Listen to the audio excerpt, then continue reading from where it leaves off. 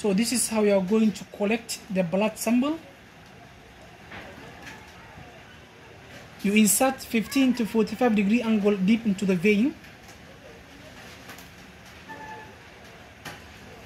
Then what you do, you apply pressure on the tip of the needle. So this is how you are going to collect the blood sample.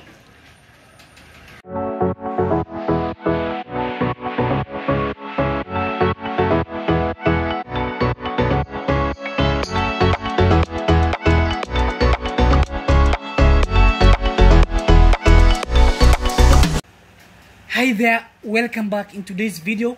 In this tutorial, I just want to show you how you can simply perform venipuncture procedure or phlebotomy. So today I want to show you how you can simply perform venipuncture for obese patient, a patient with a difficult vein to find. So before you start, make sure you gather all the necessary equipment for you to perform the procedure. For instance, you may need a syringe. You will need a syringe for you to collect the blood sample you will need a 21 gauge needle or a 23rd gauge needle for you to insert into the vein. Depends on the size of the vein you are going to collect the blood. You will need a cotton wool for you to apply pressure on the area where you have given the shot. You will need a hand sanitizer for you to clean your hand or to clean the vein.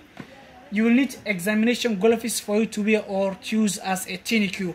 okay before you start make sure you start by introducing yourself to the patient make sure you explain the procedure to the patient. You gain consent for you to continue. Then what you do? First is start by cleaning your hand with a hand sanitizer. Make sure you clean your hand first with a hand sanitizer. Make sure you clean your hand first with a hand sanitizer. Then you wear the gloves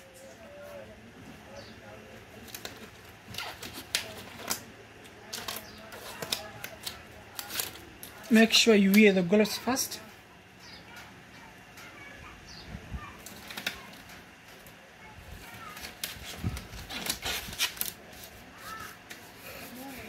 Then what you do you get a TNQ you apply a TNQ on the patient's hand.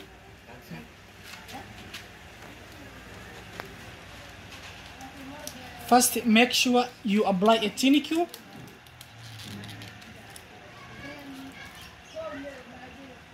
then what to do? You have to do a lot of retraction. So when you see here there's no any visible vein. So i just want to show you the simple trick and tips for you to apply so that you can simply get the vein for you to collect the blood sample. So as you know we have different types of veins that we always uh, perform venipuncture we have an antecubital vein that is front of the elbow. So this is the only vein we always collect blood. We also have cephalic vein that is the lateral portion of the front of the elbow. We also have the basilic vein, but we use the antecubital vein for us to collect the blood sample. Make sure you feel first the, the first step you are supposed to do is you have to feel the vein. Make sure you feel and palpate the vein. Then what you do, you get an alcohol swabs or a hand sanitizer. First make sure you clean the area where you are going to take the blood sample. Then you get the syringe. You remove the syringe from the packaging. You get let me use uh, the 23rd gauge needle.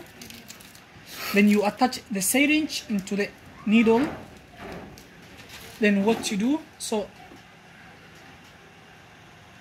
make sure you do a lot of retraction. You retract back the skin for the vein to be visible for you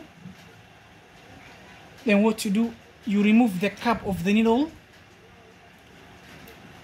So this is how you are going to collect the blood sample. You insert 15 to 45 degree angle deep into the vein. Then what you do you apply pressure on the tip of the needle. So this is how you are going to collect the blood sample I hope you can see it's very simple. This is how we are going to perform venipuncture, especially on difficult veins. then when you finish you release the tourniquet first then what you do you get a cotton wool you apply on the area where you have given the shot you remove the needle from the vein you instruct the patient to hand so this is how you are going to perform phlebotomy or venipuncture on difficult veins. I hope you can see. It's very simple procedure. So i hope you find the video very helpful. So please don't forget to subscribe like and share and give your comment to this video. Thanks for your watching. See you in the next video